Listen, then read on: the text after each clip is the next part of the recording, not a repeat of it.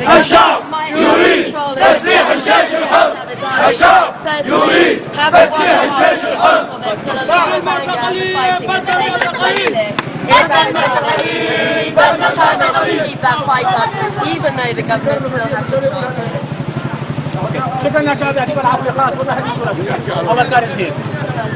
Guys, come.